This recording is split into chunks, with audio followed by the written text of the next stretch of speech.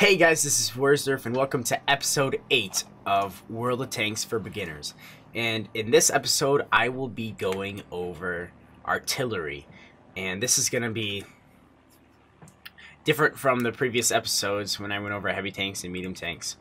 Um, in this episode, I'm going to be teaching uh, anyone who has not played artillery before or people that have uh, some experience with artillery how to play artillery and how it works because it's vastly uh, different uh, game mechanics wise than the other tanks. Um, so right now in the garage, I'm just gonna uh, talk about what artillery is. Artillery almost always, like tank destroyers, don't have turrets. So in order to aim at different parts of the maps, you have to usually turn your tracks. Um, some of the later French artillery are um, exceptions to that, and um, there's a few lower tier ones that have turrets as well. Um, artillery have big guns, and they can shoot very far. Um, they rely on spots from your team, and uh, they take a very long time to aim, um, and thus are very difficult to play to new players and even hard to play for more experienced players. Um, despite what people say about it, um, it can be very hard to be effective in um, artillery. And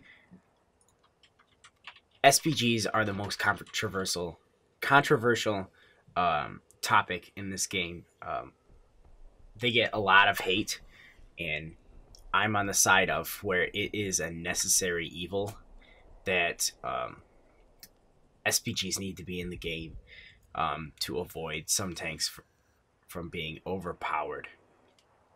Um, it also um, forces players to be aware and uh, play smarter when there's artillery on the other team.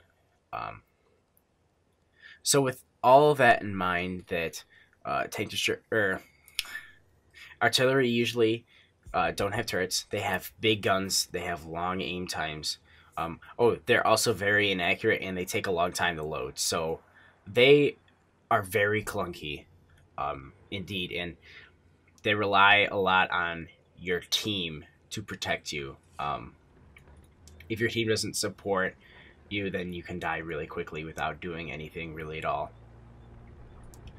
But with all that, I'm going to send it over to some gameplay of me playing in artillery. I'm gonna discuss what is going on and how to play artillery. So let's get right to it. All right, so I am in a game in my Su-14-2, a Tier 8 Russian artillery um, on Winter's Himmelsdorf. And this is usually a very, very, very poor map. Actually, um, I would say the worst map for artillery players to play on because of its um, tall buildings and um, not very much open area. this is, in my opinion, the worst map to play artillery on. Um, but I do end up getting doing pretty well. Um, and it takes a a really really experienced artillery player to play play well on maps like this. Um, I'm not saying that I'm experienced artillery player because I, I still am learning.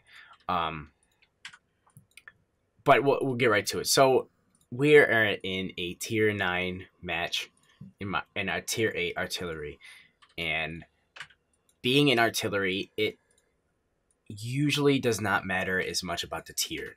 Um, in this tank, I'll shoot at tier tens and just do as much damage as uh, I don't know a tier nine artillery. Um, it doesn't the tier wise does not matter as much. Um, also in artillery, uh, your main shell will be an HE shell. Some tanks uh, or some SPGs will be able to shoot AP and be effective. Um, but usually they're going to be HE. Um, one thing I forgot to mention in the garage is that one of the most important equipment that you can put on artillery is an artillery um, gun rammer. because the reload time is immense. You can't see it on this replay, but this uh, 205 millimeter shell, 203 millimeter shell takes um, roughly 38 seconds to reload, which is a massive amount of time. Um, and this specific artillery, being as large as it is, needs to have good camo ratings. So, um, sixth sense is really important in your tank um, artillery tank crew and camouflage. Um, as you can see, I have a camouflage net in the bottom right here. So, what I'm doing right now is uh, I'm getting in a position where I can shoot on to the tanks on top of the hill over here. I'm going to support the tanks over here because um, I know for a fact that there are going to be tanks here. I need to pre-aim here. Since it takes roughly seven seconds for me to aim in completely with uh, a very poor accuracy of, um, it's this sp specific gun, if I'm not mistaken, is around 0.8, which is awful. I need to pre-aim, and that's one of another one of the most important things about artillery is that you need to predict where your enemies are going to be. Um, you need to be aware of everything that's going on in the map in order to use your artillery effectively. Otherwise, if you continue to react instead of being proactive, then you will be missing shots. Um, tanks will go unspotted before you can even get a shot off. Um, stuff like that. So one of the main things is being proactive in artillery. So I'm finding a position where I can shoot my shell um, in a good good enough arc that it will plant itself right in the enemy. And that's another uh, important thing to think about. Artillery tanks um, use indirect fire. They don't fire directly at people. They shoot over stuff. Um, so tanks like this Su-14-2 do not have a very good gun arc. So that means that it's more shallow. It's not. Uh, it's a lot more rounded than certain tanks um, or certain SPGs. So it's harder to shoot over stuff and that's why I have to get so far away from this hill in order to get good shots. Um, tanks like uh, the British SPGs have very good gun arcs. So instead of going like this, like my tank does, the British ones go over stuff. So they can shoot over rocks and um, buildings and cover. So that's another important thing to think about in arty. So I'm going to get set up here. I'm already reloaded and there are people spotted. So one of the things you can do to make things easy is you click shift in order to go to this indirect fire mode you're going to see in just a second. Alright, see I'm in indirect I'm in indirect fire mode right here. You can see that um, I am looking top down on my enemies. I press shift. So normally when you press shift, uh, it goes into sniper mode. For artillery, it goes into indirect fire mode where you're looking down on the enemies. And you can see the outline of my aiming circle. This is where my shot's going to land. And this is not the best way to show it to you because there's a lot of stuff in the way. But, um, an easy way to skip, uh, okay, so, before I go on, uh, to another thing. So I didn't even have enough time to aim there. I wanted to get a shot out off on that T-54 before he goes unspotted. So I lead my shot I'm about 500 meters away, which is a, a, medium distance, but I lead my shot. He was last seen around here, and I led my shot up here in order for my shell to travel where he was. He even goes unspotted, and my shell is going to land probably right in front of him. I do look at the replay later, or I, he does get spotted soon, and uh, we it ends up we don't do any damage. So we gotta reload 40 seconds for 40 seconds. Um, so you have to use indirect fire mode for artillery. Uh, one easy way to skip around is you hit control and you right click the map. It'll skip right to where you're clicking for indirect. It'll snap this screen to there. And you might see it uh, sometime in this match. So I'm trying to uh, get some shots in. I still have around 15 seconds to reload. And I'm still staying still. One thing that you don't see me doing in this match is a technique called um, shoot and scoot, which is um, as soon as you fire an artillery, since you have a long reload, a long aim time, um, you have time to move around before you need to uh, sit yourself back down. So uh, it's unless there is uh, there's a situation that prevents you from doing it, or it's not advisable to move around. Uh, it's suggested that every time you fire your shell on artillery, to move move to a different lo- location, maybe like 30 feet away, just to avoid counter battery fire from uh, your enemy artillery players because you can look and um, see where the enemy's uh, artillery tracers are going, and you can find them without even having them spotted. You can kill artillery players without even having them spotted.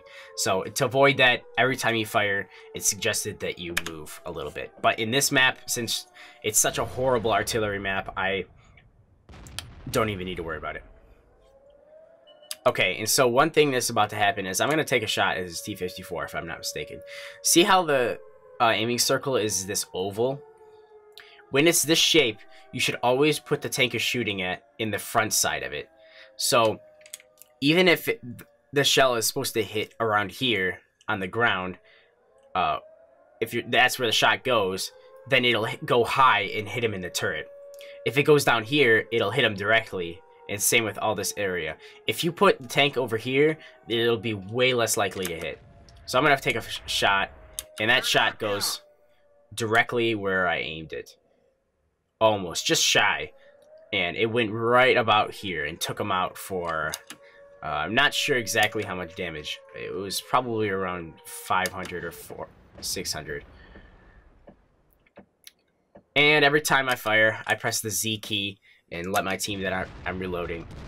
Um, also, another thing that not too many artillery players do, unfortunately, is uh, call out your shots. Um, all you have to do is hover over the enemy tank and press T. It lets your ally already know that you're who you're firing at. Um, it lets your team know who you're firing at. Communication in artillery is very important. Letting your team know when you're reloading, if they you can support them or not. And I'm gonna take a shot at this STA. So you saw that again. I was pre-aiming before I even was close to reloading, and the oval or the aim circle was this oval, and I aimed that at the STA at the bottom of this oval, and I led my shot, and that um that led to a shot right in the tracks, dealing 900 damage to this STA. Um, and this gun has the potential of doing a 1800 damage um, if it penetrates, which is a massive, massive amount for uh, a tier 8 artillery tank.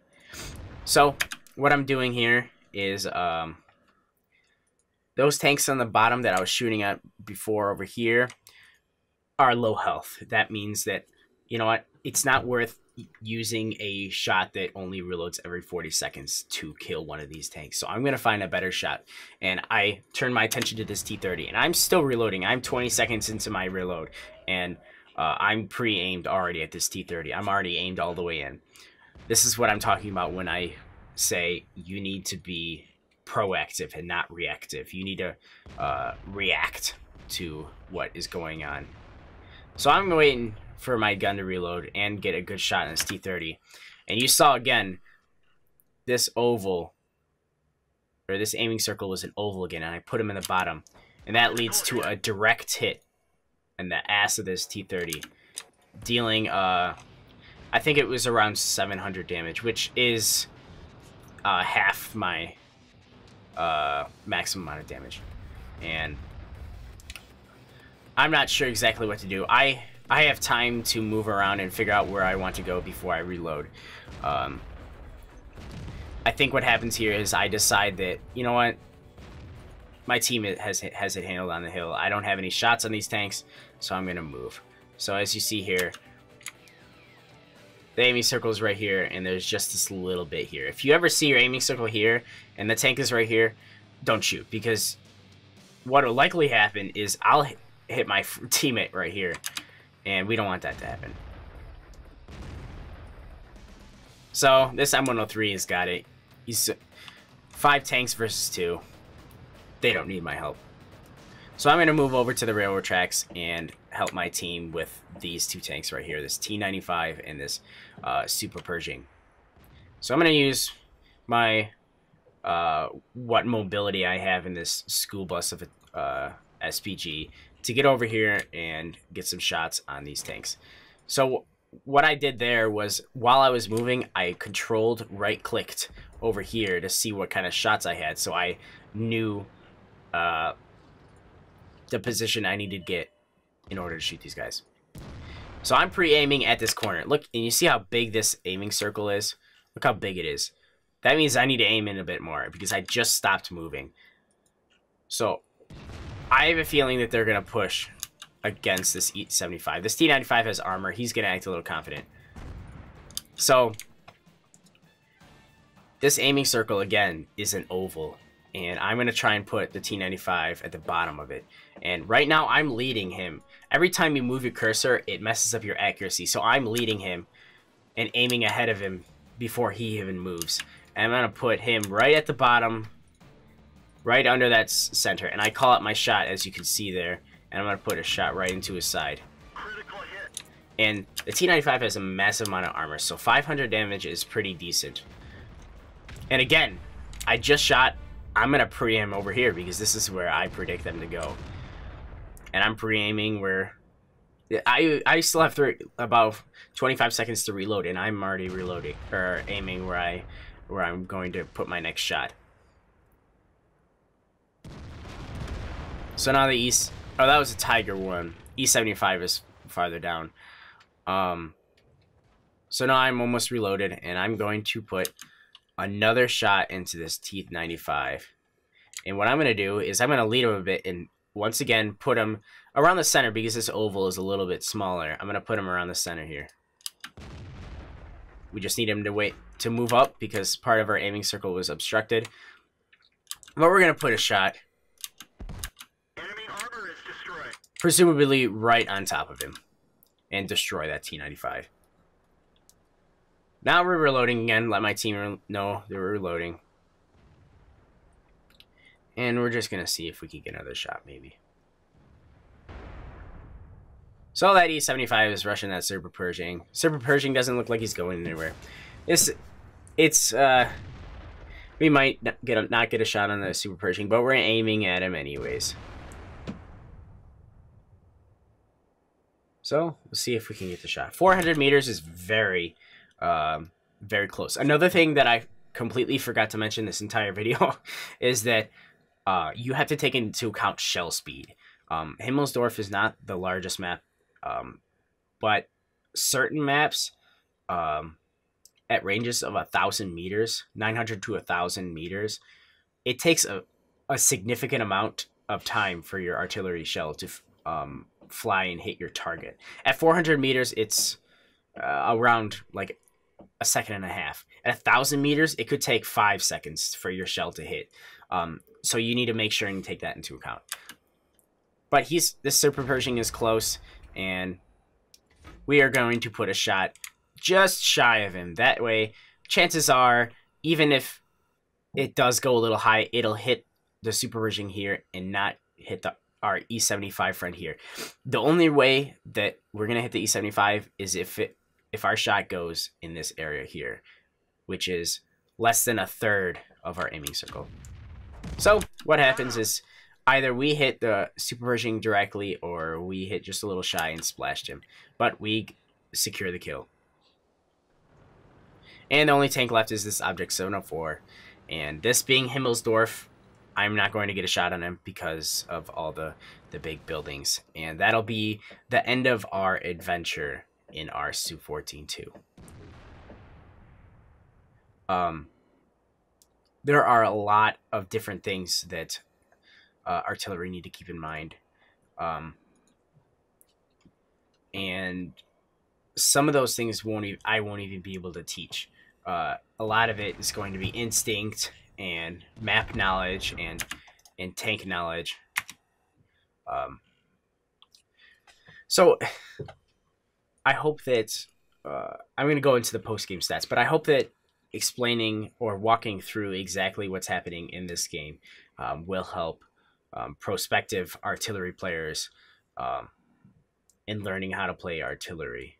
Um, there, of course, are a lot of different situations that what I just talked about will not encompass, but I think in general, what I just went over are the basics that are needed in order to play an artillery vehicle in World of Tanks. So, with all that in mind, let's go see some stats. All right, so that was the end of the game. Uh, I picked up a first class medal, uh, 939 experience, and a bruiser. Um, looking at the team score, I did manage to deal 3,700 damage, which is a lot of damage for a normal tank, and for artillery, that's pretty average. Um, I was I did not get the top of the team. Um, usually, artillery gets less experience earned to them um, when they deal damage, as opposed to like a high tier heavy tank. Um, like the M103 gets a lot more experience for how much damage it does. But that is because it's relatively easy to do a lot of damage when you do hit people. Um, looking at the detail report, we were able to uh, directly hit six out of our seven shots, and that's mostly due to uh, the map knowledge and pre-aiming, being proactive, uh, aiming the shots correctly with um, taking into account the shape of the oval and um, the close range that I was firing. And with uh, three splash splash damage.